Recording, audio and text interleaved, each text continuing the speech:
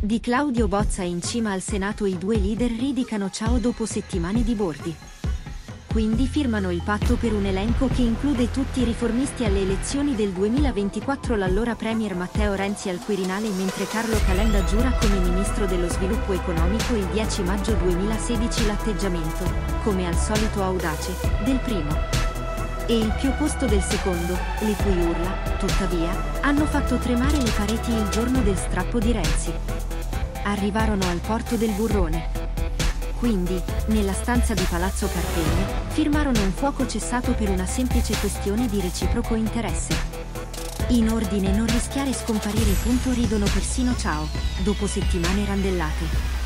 Entrambe hanno capito che il divorzio dei gruppi parlamentari di Azione Italia Viva, con gli europei con le porte, non è conveniente per nessuno.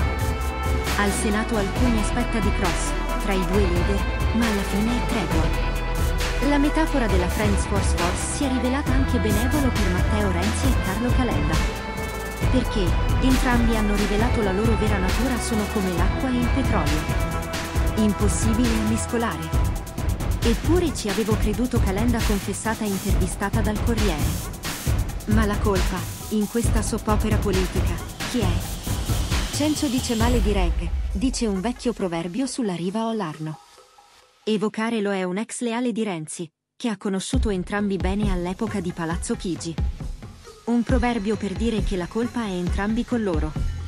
Perché i rispettivi personaggi hanno tratti inconciliabili ego in primo luogo, quando Renzi ha governato e Calenda era il suo ministro per lo sviluppo, gli erano all'ordine del giorno, ma c'era una stima e il Premier riconosciuto competenza Carlo nei delicati dossier che gestivano grandi aziende. Quindi, la stima è andata a essere benedetta un po' di tempo dopo aver deciso di mettere insieme una compagnia.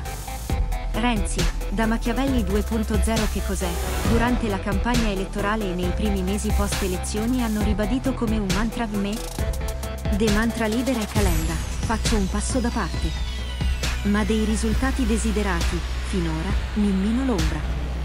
E poi Renzi ha fatto Renzi.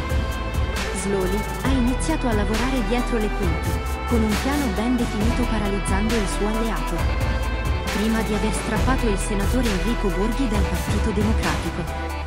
Una mossa chiave, perché ha permesso al leader Italia Viva di raggiungere 6-6, o il numero minimo per costituire un gruppo autonomo a Palazzo Madama in caso caso divorzio dei gruppi parlamentari, costringendo i quattro senatori dell'azione al gruppo misto.